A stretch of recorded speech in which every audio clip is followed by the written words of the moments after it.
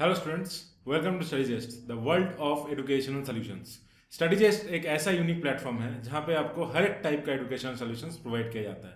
So in today's class we learn some applications of trigonometry that is the topic of height and distance H and D short में लिख रहा हूँ। Height and distance के ऊपर concept के ऊपर हम लोग जानेंगे। So in today's class will discuss about some important concept regarding to related to heights and distance and will discuss about some applications of height and distance तो चलिए शुरू करते हैं आज की क्लास तो शुरू करने से पहले एक बार मैं आपको रिमाइंड कर दूँ, हम लोग का जो सोशल मीडिया प्लेटफॉर्म है you can subscribe to our YouTube channel that is Studygest academy you can like us on Facebook by writing Studygest academy you can join our Telegram channel that is Studygest school from seven to 10 and you can see the link is provided over here. And this is how our telegram channel looks like. ये Telegram channel join करने का आपका कुछ ये फ़ायदा रहेगा कि हम लोग का जो लाइव क्लासेस है वो वहाँ पे आपको प्रोवाइड किया जाएगा मतलब मॉड्यूल का जो प्रोवाइड किया जाएगा नेक्स्ट आपका कोई डाउट है तो वो आप रेस कर सकते हैं हम लोग का टेलीग्राम चैनल में and in number of study materials are also available on Telegram channel तो do follow us on Telegram and also follow us on Instagram by writing StudyGest and follow our WhatsApp group by this number. Right? And for more information, log in to our website that is www.studygest.in. This is how our app looks like Android application looks like ये आप Google Play Store से free of cost में download कर सकते हैं। कोई एकदम free totally free है, आप डाउनलोड करके आप जितना भी कोर्सेज है यहाँ से एक्सेस कर पाएँगे। और यहाँ से आपका live classes recorded classes study material आपका कोई भी नोट्स आप यहाँ से आप एक्सेस कर पाएँगे। और डाउनलोड करने के बाद आपका जो ऐप है, ऐसे दिखेगा। तो make sure you download it as soon as possible This is how our YouTube channel looks like, Strategist Academy. Make sure you subscribe it and press this bell icon so that you get notified if any new content are uploaded on the channel. And this is how our Facebook page looks like. Make sure you like, share and subscribe this YouTube channel uh, and also Facebook page. और आपका दोस्तों के साथ share कर दीजिए ताकि उन लोग को भी फ़ायदा होता रहे। चलिए आज की क्लास शुरू करते हैं, जो है हाइट एंड डिस्टेंस के ऊपर। हाइट एंड डिस्टेंस शुरू करने से पहले एक बार मैं बता देना चाहता हूँ, जो इंपॉर्टेंट कुछ कंसेप्ट है, जो आपको चाहिए आपको ज़रूरत होगा जानना, एकदम हंड्रेड परसेंट आपको कंसेप्ट क्लियर होने के लिए, वो थोड़ा हम लोग डिस्कस कर लेंगे। उसके बाद हम लोग एप्लीकेशन देखेंगे। फ़र्स्ट ऑफ़ ऑल इस लाइन ऑफ़ साइट अभी देखिए, मैं आपको देख पा रहा हूँ मतलब मैं आपके तरफ़ देख रहा हूँ, ये जरा जो आँख का कंटेक्ट है, आपका सीधा सीधी ये आ रहा है। तो this is called as line of sight this side जो मैं आपके तरफ़, मैं जो लेके आ रहा हूँ, ये जो साइड है, आपके तरफ़ आ रहा है। This if I draw line from my eyes towards this camera जिसके हिसाब से ये हो रहा है तो इस दिस कैमरा एंड माइन जो आई है, इसके अंदर जो स्ट्रेट लाइन अगर मैं ड्रॉ करता हूँ, इसे कहा जाता है लाइन ऑफ़ साइट लंबा है ड्रॉ कर सकते हैं लंबा लाइन लाइन है तो लाइन है, और साइट मतलब विजन तो लाइन ऑफ़ साइट ठीक है? तो a line of sight is the line drawn from the eye of an observer to the point of object viewed by the observer मान लीजिए यहाँ पे कोई खड़ा है मिस क्या नाम बोलेंगे? कोई कोई एक नाम बोले? मिस राधिका ठीक है? राधिका नाम ले लेते हैं। राधिका नाम से कोई एक यहाँ पे खड़ी है, जो हाइफिल टावर के ऊपर, ये पेरिस में है।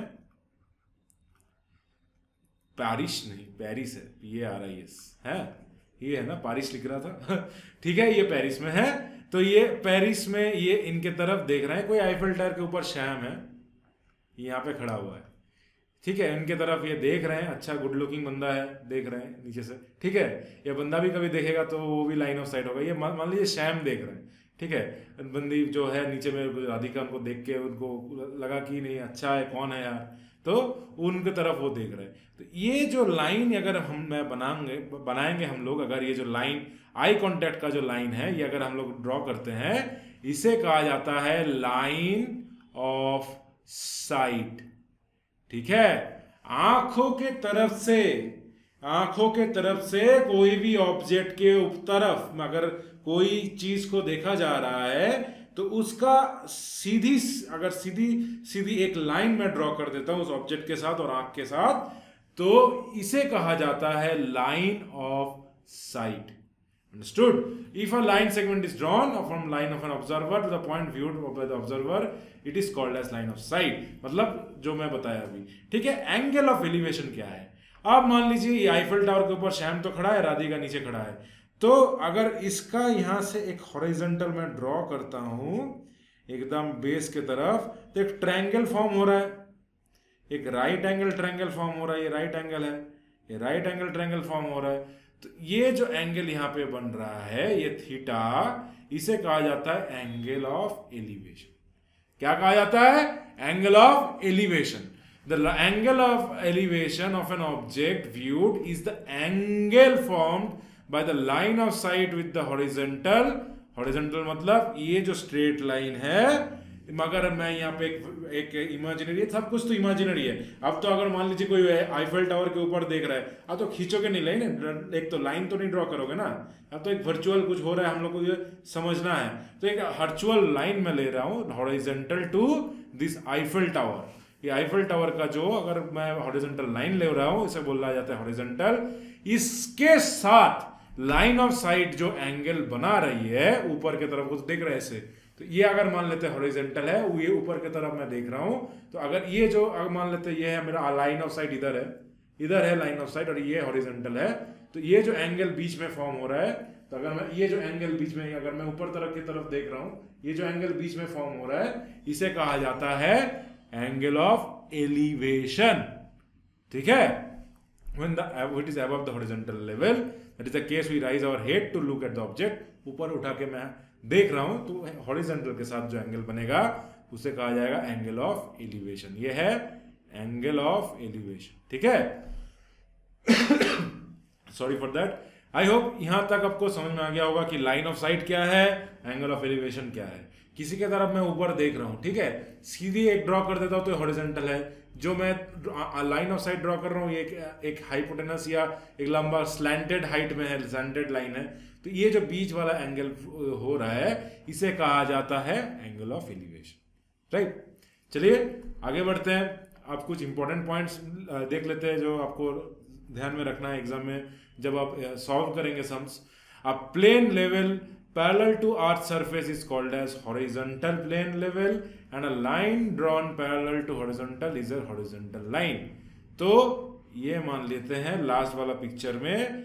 ये भी अर्थ है ये भी अर्थ है, ठीक है? अर्थ के ऊपर ये ऐसे ऐसे ऐसे, इसे अर्थ, ऐसे हम लोग ड्रॉ करते हैं अर्थ।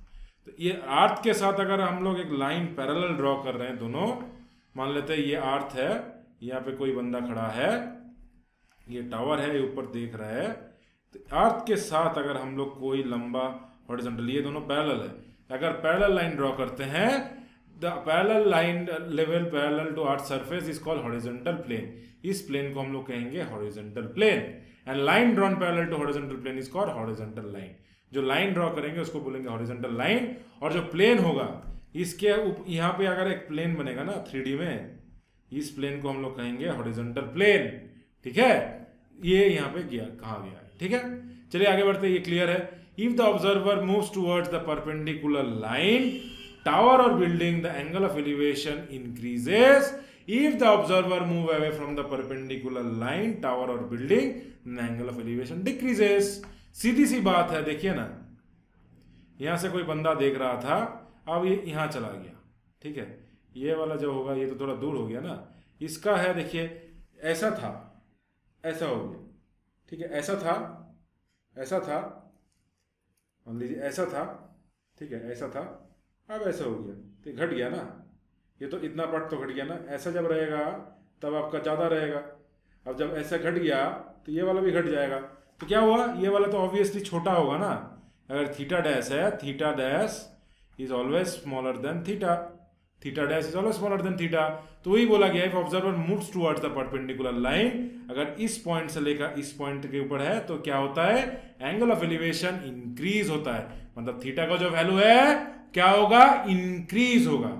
And the observer move away from the perpendicular अगर ये बाहर की तरफ़ जाता है तो क्या होगा? ये दूर जा रहा है तो क्या होगा? आपका जो एंगल ऑफ़ एलिवेशन है, वो डिक्रीज करेगा। घटेगा, ठीक है? This will decrease the angle of elevation will increase and decrease depending upon the position of the observer if it is going towards the tower और perpendicular line angle of elevation increase and if it will go outwards that is from away from the horizontal line or perpendicular line then it is called as then it will be decreasing right तो ये था second point third point क्या है if the height of tower is doubled distance between the observer and foot of the tower is also doubled angle of elevation remains the same सीधी सी बात है ना क्या है मान लेते हैं एक टावर है और यहाँ पे कोई बंदा देख रहा है ये दोनों का हाइट मान लेते हैं पी और पी है ठीक है, इसको हम लोग डबल करेंगे तो यहाँ पे टेन थीटा क्या हो जाएगा? एक मिनट में let me just rub this so that I can tell you everything clearly let me just rub this so let us take a tower and a person standing over here looking here this height and this height let be this is P and this is X and this is X now if you take a theta what will be tan theta perpendicular by base Perpendicular क्या है? X है base भी क्या है? X है, cut जाएगा।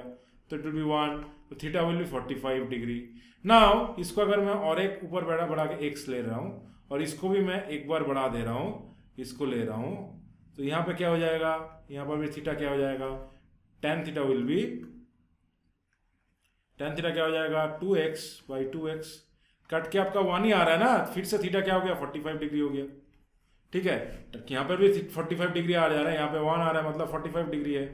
ये भी 45 डिग्री हो जा रहा है। तो if a height of a tower is doubled and distance between the observer and foot ये ऑब्जर्वर है और ये फुट ऑफ़ द टावर है। ठीक है? अगर ये भी आपका डबल हो रहा है तो angle of elevation remain same theta change हो रहा है? 45 था 45 भी है 45 भी रहेगा, अगर इसे कंडीशन है। टावर और आपका ग्राउंड सेम है तो। है कि नहीं? तो this is how we can tell this that if a height and the tower and the distance between the observer and the from the foot of the tower is doubled वो क्या होगा theta भी आपका same रहेगा double नहीं होगा same रहेगा ठीक है नेक्स्ट नेक्स्ट पॉइंट पे आ जाते हैं if the angle of elevation of sun above the tower decreases the length of shadow of the tower increase and vice versa तो क्या होगा यहाँ पे मान लेते एक सूरज है उसका रोशनी ऐसे गिर रहा है यहाँ पे टावर है तो उसका जो एलिवेशन है, अगर ये ऐसा रहेगा तो इसका क्या होगा? इसका कम होगा। ये थीटा ज़्यादा होगा। अगर ये ऐसा रहेगा, ये ऐसा आएगा तो इसका क्या होगा? ये बढ़ेगा। जो शेडो का है शेडो विल इंक्रीज शेडो ऊपर रहेगा। नून में क्या होता है? बारह बजे क्या होता है? ऊपर में रहता है सन उसका आप उस टाइम में शेडो देखोगे आप नीचे में आएगा।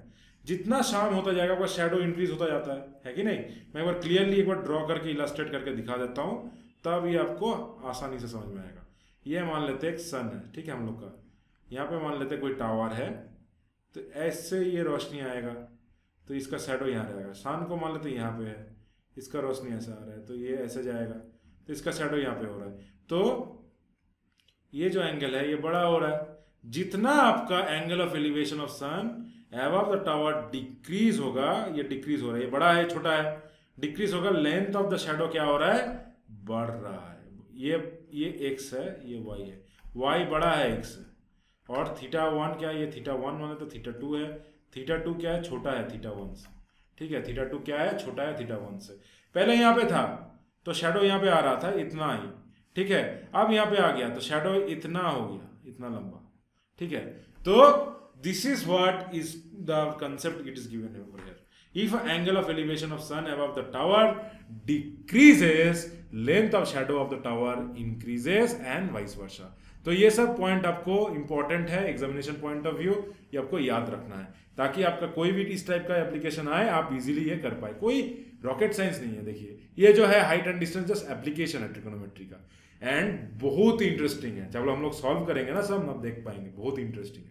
ठीक है? चलिए नेक्स्ट सवाल पे आते नेक्स्ट आपका कंसेप्ट पे आते हैं। एंगल ऑफ़ डिप्रेशन क्या है? अब एलिवेशन तो पता लग गया। तो एंगल ऑफ़ डिप्रेशन क्या है? यहाँ पे मान लीजिए कोई बंदा खड़ा हुआ है।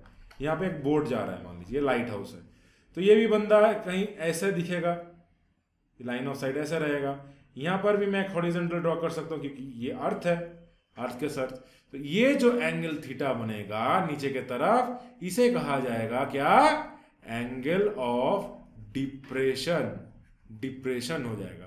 The angle of depression of an object viewed is the angle formed by the line of sight with the horizontal when it is below the horizontal level. अब नीचे आ रहा है ना horizontal level से नीचे है वो elevation क्या था horizontal level के ऊपर था ये क्या है नीचे है तो नीचे आएगा in case we lower our head to look at the object तो नीचे ऐसे करके हम लोग देख रहे हैं तो लाइन ऑफ़ साइट जो हो रहा है हॉरिजेंटल इधर है ये वाला एंगल जो हो रहा है अभी तो इसे कहा जाता है angle of depression understood very easy concept कुछ नहीं है। डिप्रेशन मतलब क्या है? नीचे। एलिवेशन मतलब क्या है? ऊपर। एलिवेट हो रहा है ऊपर। डिप्रेशन मतलब डिप्रेशन में चला गया। बोलता है ना कोई डिप्रेशन में चला गया। डिप्रेशन मतलब क्या है? सैड है। वो लो कर फील कर रहा है। तो नीचे लो लो मतलब डिप्रेशन नीचे हो रहा है। ठीक है? और एलिवेशन मतलब ऊपर है। ठीक है? ये एक्चुअली हम लोग हिल से लेते हैं। डिप्रेशन और एलिवेशन का जो टर्म है, ये एक्चुअली हिल या वही हिली रीजन से हम लोग लेते हैं। एलिवेशन मतलब हाइट को लेते हैं डिप्रेशन मतलब कितना गहराई है। तो गहरा में कोई नीचे में खड़ा है हॉरिजेंटल लाइन का, नीचे में जो ऑब्जेक्ट है, ऐसा देखना पड़ रहा है किसी ऊपर का, कोई एलिवेटेड जगह से मैं देख रहा हूँ नीचे ऐसे तो ये जो एंगल हॉरिजेंटल के साथ एंगल फॉर्म हो रहा है, इसे कहा जा रहा है क्या? एंगल ऑफ़ डिप्रेशन अब यहाँ पे कुछ इंपॉर्टेंट पॉइंट है, देख लेते हैं क्या है। If angle of elevation of a point P is seen from O is equal to the angle of depression of O seen from P मतलब क्या बोला गया? ये देखिए आप, ये तो एक आपका स्ट्रेट लाइन है, ये हॉरिजेंटल भी स्ट्रेट लाइन है। तो ये क्या है? ये मान लीजिए लाइन ऑफ़ साइट है। अब लाइन ऑफ़ साइट क्या काम कर रहा है? ट्रांसवर्सल का काम कर रहा है। तो ये जो बंदा है, जब यहाँ देखेगा, जो एंगल ऑफ़ एलिवेशन होगा, ये थीटा होगा और एंगल ऑफ़ डिप्रेशन ये थीटा होगा। ये दोनों तो थीटा इक्वल टू थीटा होगा ना? ये वाला जो एंगल है, दोनों इक्वल क्योंकि ये अगर ये इसको ट्रांसवर्सल मान लेते हैं, ये दोनों पैरेलल है तो opposite interior angles are always equal हम लोग alternate interior angles are always equal तो ऑल्टरनेट इंटीरियर एंगल यहाँ पे हो रहा है। ये वाला थीटा और ये वाला थीटा राइट right. तो यहाँ से हम लोग क्या प्रूव कर सकते हैं कि angle of elevation at point P यहाँ पे मान लेते हैं पॉइंट पी है। Seen from point O angle of elevation of point P from seen from point O is always equal to angle of depression O seen from P. तो ये वाला जो एंगल हो रहा है, ये वाला एंगल इक्वल टू ये वाला एंगल तो angle of elevation equal to angle of depression ऐसे लिख सकते हैं।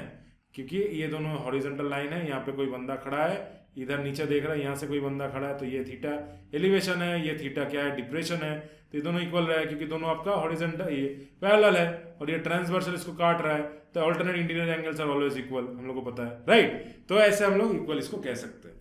तो ये वाला पॉइंट आपको समझ में आ गया। Next angle of elevation and depression are always acute angle 90 degree में नहीं होता है। ऐसे नहीं देखेंगे हम लोग साइड में देखेंगे ना। तो एक्यूट होता है हमेशा। हमेशा क्या होता है? एक्यूट एंगल्स होता है राइट right? ये हमेशा एक्यूट एंगल्स होता है। In solving problems observer is represented by a point of the object is represented by a line segment और अ पॉइंट तो क्या होता है ऑब्जर्वर का क्या होता है, हम लोग हाइट जनरली हम लोग इग्नोर करते हैं, पर कहीं कहीं पर अगर हाइट दिया है, उसको आपको कंसिडर करना पड़ेगा।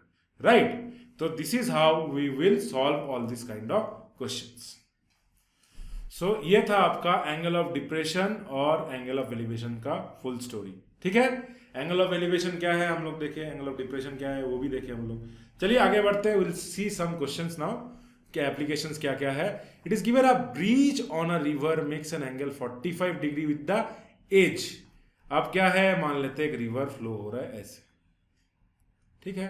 अ ब्रिज इज़ देयर ऐसे एक आपका ब्रिज है। ठीक है? Let me just clear this this is the river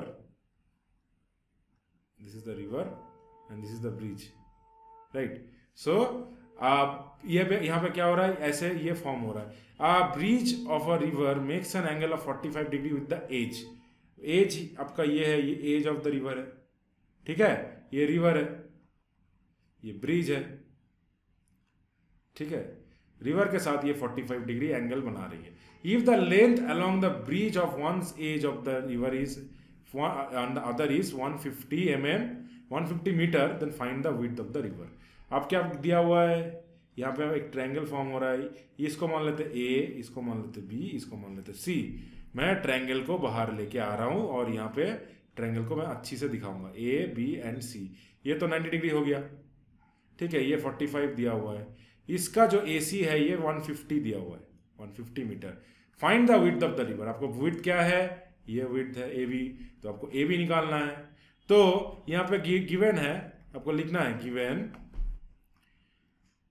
length of river length of bridge क्या है? आपका दिया हुआ है 150 मीटर एंगल विथ एच क्या दिया हुआ है? इक्वल टू कितना है? 45 डिग्री है। ठीक है? 45 डिग्री आपको दिया हुआ है। आप क्या पूछा गया है? लेंथ आपको पूछा गया A B so by sine 45 is equal to क्या है आपका? ए बी बाई ए सी अगर ये है, ये आपका परपेंडिकुलर है, ये आपका बेस है, ये हाइपोटेनस है। है कि नहीं? इस ट्रैंगल में ट्रैंगल ए बी सी में। ये राइट एंगल है राइट ट्रैंगल है। राइट एंगल एट बी है।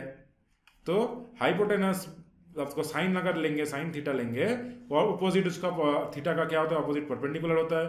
हाइपोटेनस तो sine forty five equal to A B by A C अब साइन फोर्टी फाइव का वैल्यू क्या होता है? One by root two equal to A B क्या है? हम लोग को निकालना है। ए सी क्या है? वन फिफ्टी है। तो क्या आ रहा है? A B equal to one fifty by root two अब इसको ऐसे सोच छोड़ सकते हैं? नहीं छोड़ सकते। अब उसको हम लोग इक्वलाइज करेंगे। तो ए बी का क्या होगा? 150 fifty by root two into root two by root two अगर ऊपर नीचे मैं रूट टू रूट टू से मल्टीप्लाई करूँगा, ये कट के तो फिर 150 फिफ्टी बाई रूट टू आ जाएगा ना? तो ऐसा हम लोग लिख सकते हैं। अब इसको क्या करेंगे? ऐसे लिख सकते हैं, ऊपर क्या करेंगे यहाँ पे? यहाँ पे हम लोग क्या कर रहे हैं? Multiplying both numerator and denominator by root two इसको हम लोग ऐसे कर रहे हैं, ठीक है? मल्टीप्लाई कर रहे हैं। इसको मैं क्लियरली लिख देता हूँ। जब समझ में नहीं आ रहा है तो मल्टीप्लाइंग ठीक है? Multiplying both numerator and denominator by root two तो अब क्या आ जाएगा? यहाँ से लिख सकते हैं one fifty root two by two मतलब सेवेंटी फाइव कट जाएगा। Seventy five into root two अब रूट टू का वैल्यू क्या होता है? सेवेंटी फाइव रूट टू यहाँ पर लिख देता हूँ seventy five into root two का one point four one four ये हो जाएगा root over of one point four one four तो इसका अगर वैल्यू करेंगे तो ये आ जाएगा आपका almost one zero six point zero six metre one zero six point zero six metre ये आपका हो जाएगा अप्रोक्स अप्रोक्सीमेटली इतना आपका आ जाएगा, क्योंकि रूट टू का value one point four one four अगर लेंगे तो ये वाला आपका आ जाएगा एक सौ छह पॉइंट सिक्स मीटर तो this is the the width of the river तो ए बी का वैल्यू क्या निकला? ए बी तो यहाँ पे लास्ट में लिखेंगे hence width of the river equal to A B equal to 106.06 metre 106.06 metre ये आपका हो गया लास्ट में फाइनल आंसर तो स्टेप बाय स्टेप आपको हर एक स्टेप दिखाना है। यहाँ पे थीटा क्या है? दिया हुआ है 45 तो साइन ले रहा है, क्यों ले रहा है? आपको ए भी निकालना है। ए भी क्या है? परपेंडिकुलर है। थीटा के ऑपोजिट परपेंडिकुलर तो साइन ले रहा है। तो साइन का क्या होता है?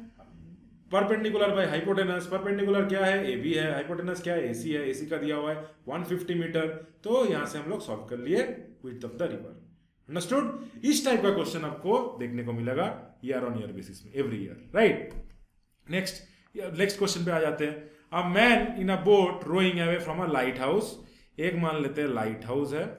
ठीक है?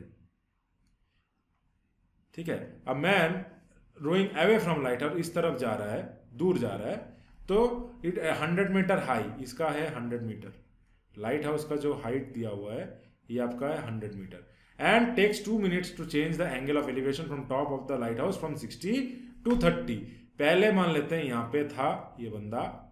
अब क्या हो रहा है? ये यहाँ से इतना दूर चला गया, दो मिनट में. और इसका जो एंगल था, पहले 60 था. ये दूर जा रहा है तो घट रहा है, ये 30 हो जा रहा है. ठीक है? अब पूछा गया है find the speed of the boat in metre per per metre per minute using root three equal to one point seven three two ये करेंगे तो आपको ऐसे, ये वाला सवाल में आपको निकालना है क्या? आपको स्पीड निकालना है बोट का। ये दो मिनट में इतना दूर गया टू मिनट्स में।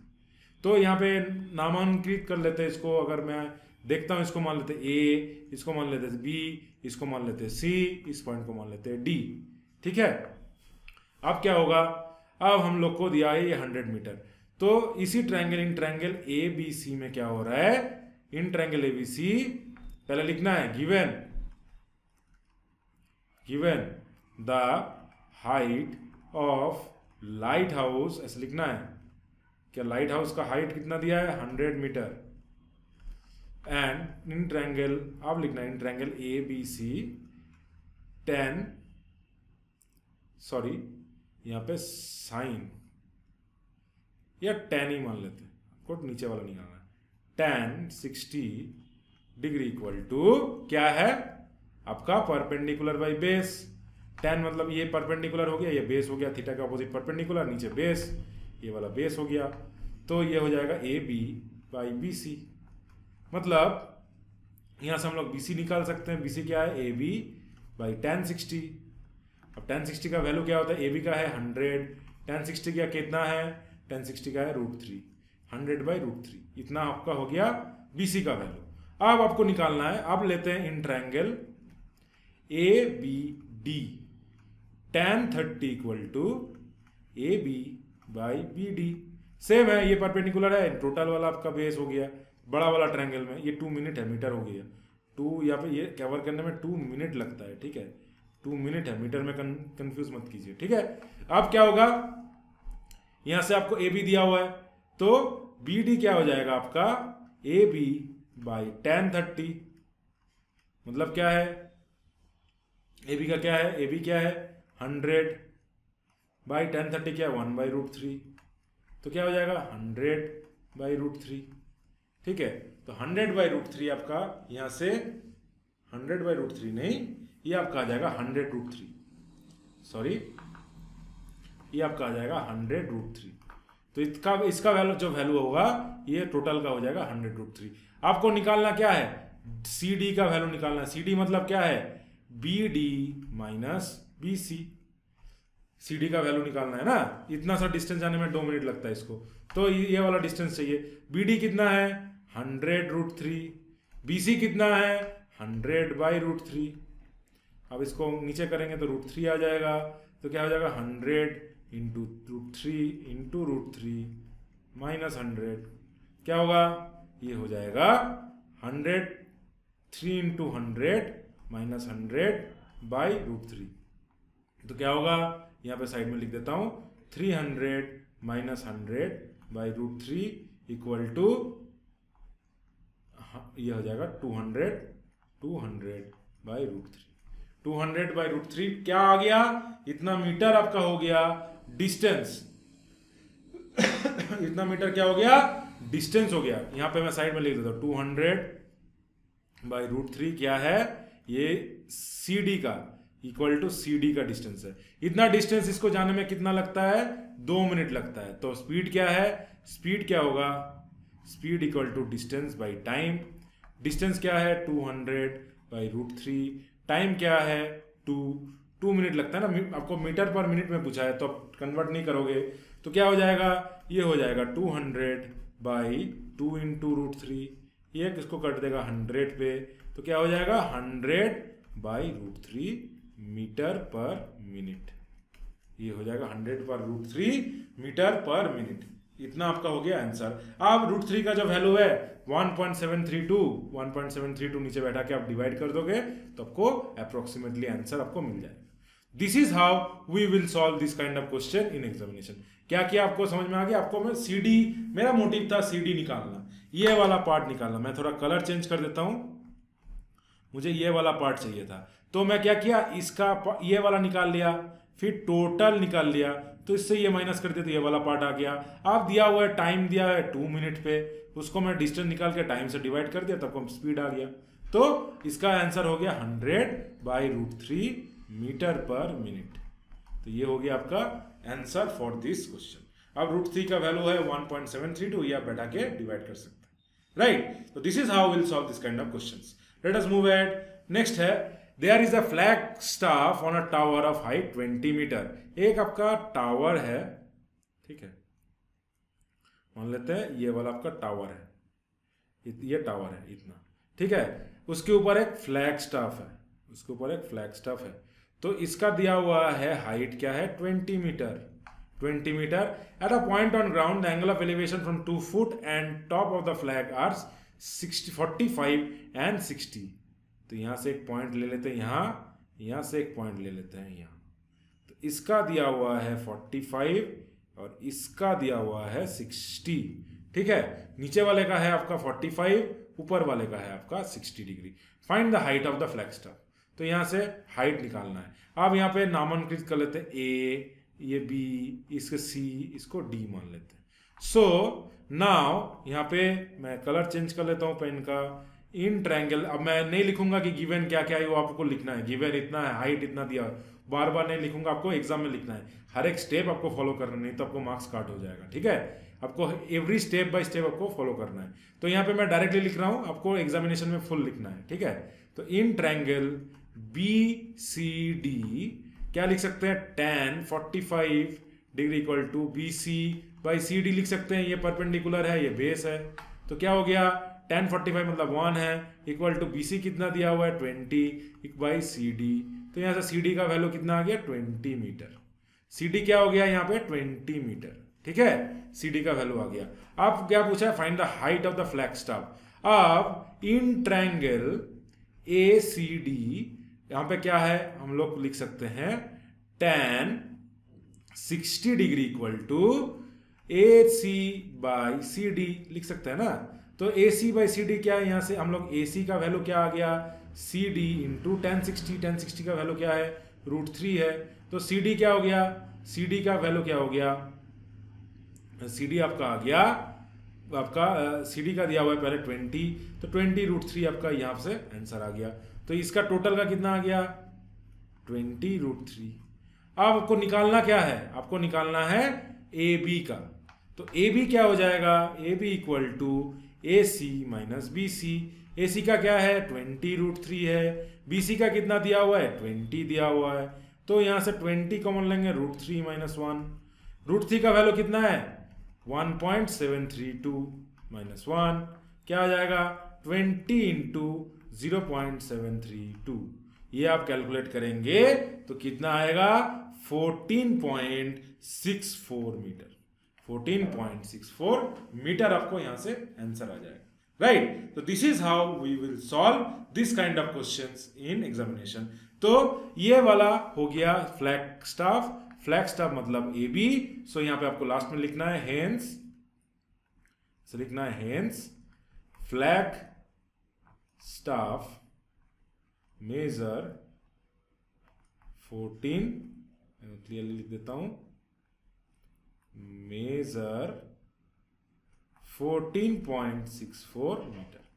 14.64 meter. This is how we will solve this kind of question in examination समझ में आया? कैसे फ्लेक्स टब निकाले? पहले हम लोग नीचे वाला पार्ट निकाले सीडी का वैल्यू आ गया। ये आप बड़ा वाला ट्रायंगल ले रहे हैं, उसमें भी हम लोग टेन लिए तो परपेंडिकुलर वहाँ पे बड़ा वाला एसी का वैल्यू निकाल गया बीसी का वैल्यू दिया हुआ है। तो एसी से बीसी माइनस करेंगे तो एबी का वैल्यू आ जाएगा। तो वही किए तो आंसर यहाँ से आ गया fourteen point six four meter. Understood तो this is how we will do this kind of question in examination कोई भी डाउट है तो आप पूछ सकते हैं। चलिए, ये आखिरी क्वेश्चन है आज का क्लास का। इसमें आ जाते हैं, इसमें देख लेते हैं क्या है। बहुत ही अच्छा क्वेश्चन है। इस टाइप का क्वेश्चन आपको एग्जामिनेशन में देखने को मिलता है। Two poles are of equal height are standing opposite to each other on either side of a road ये मान लेते हैं एक रोड है। यहाँ पे एक आपका टावर है और यहाँ पे एक आपका टावर है। दोनों का जो हाइट है, बराबर है। दोनों का जो हाइट है, ये बराबर ये। आप दिया हुआ है, एक पॉइंट यहाँ पे मान लेते हैं। तो यहाँ पे एक इसका एंगल ऑफ़ एलिवेशन ये बन रहा है और इस पॉइंट से एंगल ऑफ़ एलिवेशन ये बन रहा है। अब क्या दिया है? ये चीज़ 80 मीटर वाइड ये टोटल लोड का ये है टोटल इसका दिया हुआ है 80 मीटर अब इसको हम लोग एक्स मान लेंगे तो ये क्या हो जाएगा? 80 माइनस एक्स हो जाएगा ना? इतना सा अगर एक्स है तो इतना क्या हो जाएगा? 80 माइनस एक्स हो जाएगा। टोटल से एक्स माइनस करेंगे तो ये वाला पार्ट आ जाएगा। इसको नामांकित कर लेते ए, बी, सी, डी, ई। ठीक है?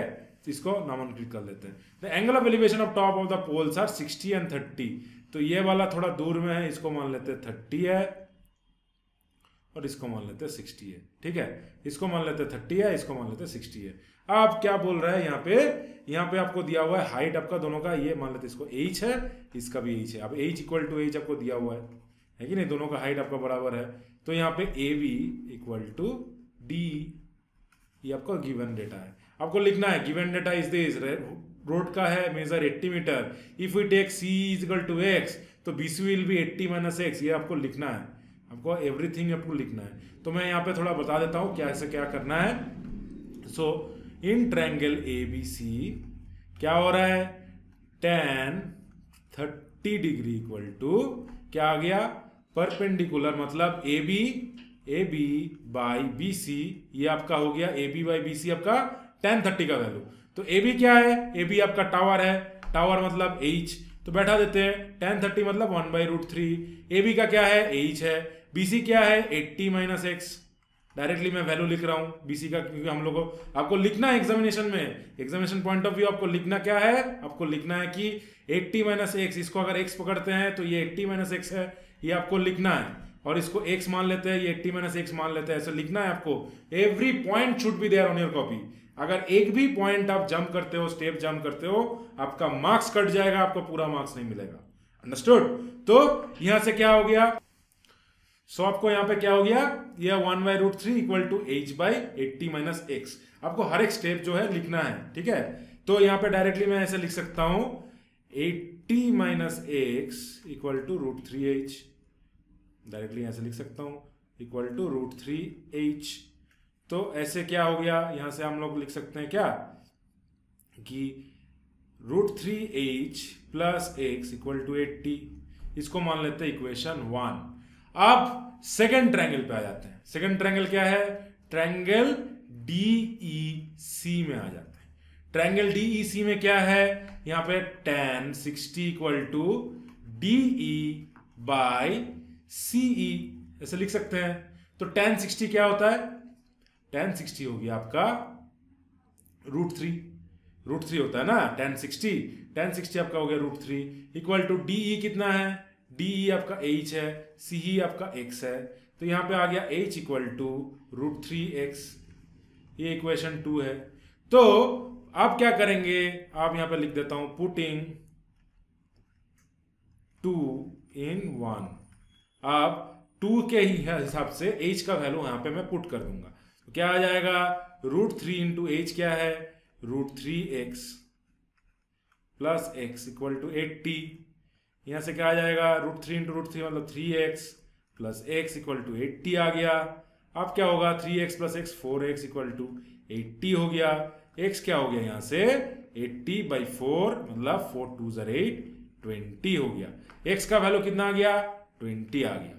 तो एक आपको क्या पूछा गया? Find the height of the pole and distance from the point of the pole तो हाइट ऑफ़ द पोल और distance from the point of the pole पूछा गया। हाइट ऑफ़ द पोल आपको एच निकालना है। एक्स का वैल्यू यहाँ पे ट्वेंटी आ गया।